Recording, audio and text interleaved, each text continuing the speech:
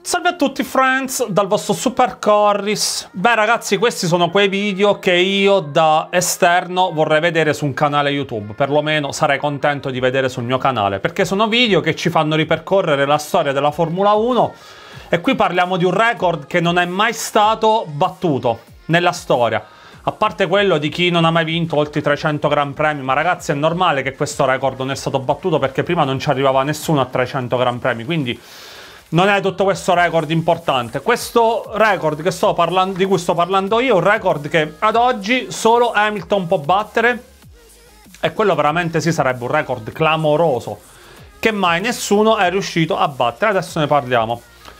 Uh, come al solito vi invito a iscrivervi a tutti i miei canali Ragazzi c'è quello degli shorts, molto bello Dove metto sempre notizie in anteprima Mi raccomando iscrivetevi C'è quello della palestra dove parlo della storia del bodybuilding E di consigli di allenamento c'è eh, Super Chorus Gamer dove oltre ai videogiochi, tanti videogiochi, c'è la Formula, eh, c'è la MotoGP, il calcio e il rally. Parlato, quindi eh, discutiamo dei risultati e eh, probabilmente anche dal punto di vista rally le live.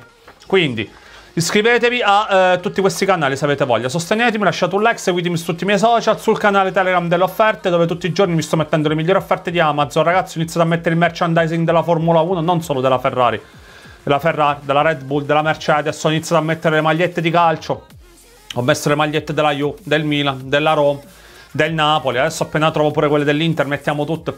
Sto cercando di variare anche gli argomenti sul canale delle offerte, perché secondo me ragazzi sono cose che a voi possono interessare, a tutti piace comprare una maglietta e se c'è una buona offerta, perché non farlo?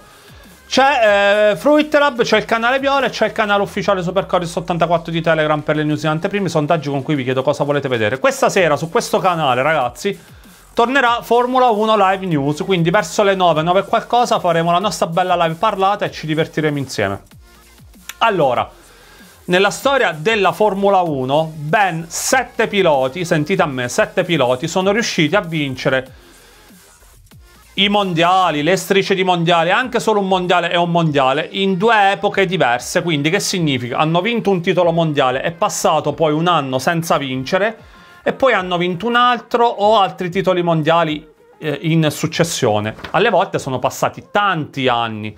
Quindi è chiaro ragazzi che vedete non è facilissimo vincere mondiali dopo che l'hai perso. Abbiamo visto tanti campioni tipo Raikkonen ha vinto un mondiale e non ne ha vinti più. Vettel ha vinto quattro eh, mondiali consecutive e non ne ha vinti più. Hakkinen ne vinse due e non ne ha vinti più. Hill, Villeneuve, Mansell. Sono tantissimi piloti pure molto forti che hanno vinto un mondiale o diversi mondiali affilati. Lo stesso Alonso non sono riusciti poi a vincere altri mondiali. Quindi vincere in epoche diverse, anche se si parla solo di vinco un mondiale, un anno non lo vinco, l'anno dopo lo rivinco, per la Formula 1 ragazzi è un'epoca enorme perché come stiamo vedendo la Formula 1 voglio, eh, tre anni sono una marea di tempo. Chi sono questi piloti che, e dopo c'è chi ha fatto molto meglio ancora, chi sono questi piloti che, eh, questi sette piloti che sono riusciti a vincere i mondiali in due epoche diverse? Allora, il primo, Juan Manuel Fangio, cinque volte campione del mondo. Fangio vince il primo mondiale nel 51, Dopo rimane per diversi anni, due anni senza vincere il mondiale, quindi 52-53 i titoli di Ascari, e poi dal 54 al 58 vince altri quattro titoli mondiali. Quindi vedete, dopo un digiuno di due anni, Fangio torna a dominare, a vincere quattro mondiali consecutivi, come ha fatto Vettel.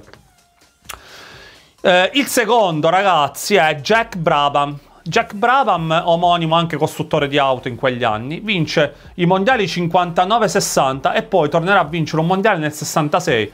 Quindi vedete ragazzi, ben sei anni dopo, sei anni d'astinenza per Jack Brabham. Poi c'è Jim Clark, Jim Clark vince il mondiale nel 63 e lo rivince nel 60, 65. Qui purtroppo Clark poi scompare, probabilmente avrebbe vinto altri titoli. Graham Hill, padre di Damon Hill, vinse il mondiale nel 62 e nel 68, quindi ben sei anni dopo.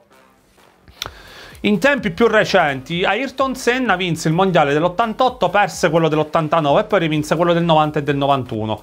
Quando andò in Williams, Senna poteva diventare tra i cinque piloti il sesto che avrebbe potuto vincere se avesse vinto un mondiale in Williams in tre epoche diverse, non solo in due, che è pazzesco. L'altro pilota che ha vinto mondiali in due epoche diverse è stato Schumacher, 94 e 95 con la Benetton, poi rivinse dal 2000 al 2004 con la Ferrari. Anche Schumacher ci è andato vicino perché nel 2006 se avesse vinto il mondiale avrebbe vinto mondiali in tre epoche diverse. Che è tosta ragazzi, perché ripeto, alla velocità con cui progredisce la Formula 1, ma anche come ricambio generazionale e piloti, è veramente tosta. Ora voi mi direte, c'è qualcuno che ha fatto meglio? Sì, perché ci sono 5 piloti, non uno, ben 5 piloti nella storia della Formula 1 che hanno vinto mondiali in tre epoche diverse. Quindi hanno vinto il primo o i primi titoli, hanno avuto una pausa, quindi sono stati sconfitti, hanno rivinto, sono stati sconfitti nuovamente, hanno rivinto.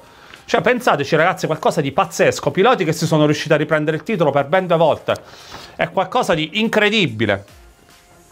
Il primo chi è? Jackie Stewart. Allora, Jackie Stewart, ragazzi, ha alternato sempre la vittoria di un mondiale a una sconfitta.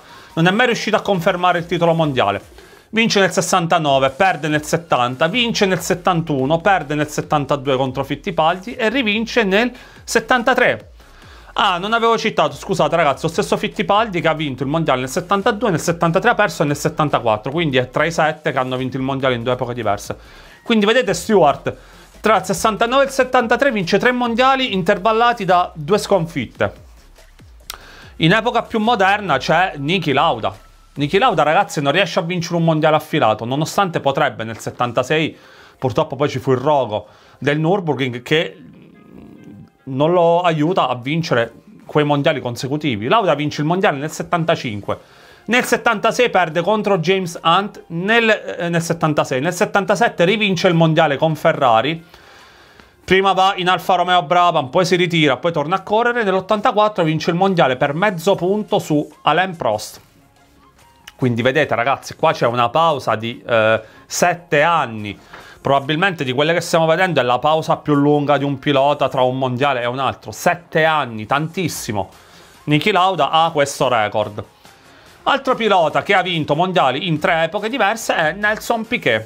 Piquet vince il primo mondiale nell'81 con eh, la eh, Brabham, sempre. Nell'82 viene sconfitto da Keke Rosberg, quello è un mondiale stregato e lo vince Rosberg, il meno indiziato quell'anno. Rivince il mondiale nell'83 sempre con la Brabham, battendo le Ferrari, tra le altre, e le Renault. Rivince il mondiale nell'87 quando è compagno di squadra di Nigel Mansell, lo batte con la Williams Honda. Il penultimo pilota che citiamo in questa classifica è Alain Prost. Perché? Perché Prost vince i primi due titoli nell'85-86, in questo biennio. Nell'87 viene sconfitto dalle, dalle Williams, non riesce a ripetersi. Nell'88 perde il confronto interno con Ayrton Senna. Rivince il mondiale nell'89, il suo terzo titolo mondiale, quindi vedete, si riprende la corona. Nel 90 perde il mondiale nei confronti di Senna con la Ferrari, lui e Senna con la McLaren. Nel 91 altra scoppola con una Ferrari non competitiva, rivince Senna. Nel 92 Prost si prende un anno sabbatico. Nel 93 torna in Williams per una sola stagione, vince il quarto mondiale, quindi il terzo in epoche diverse.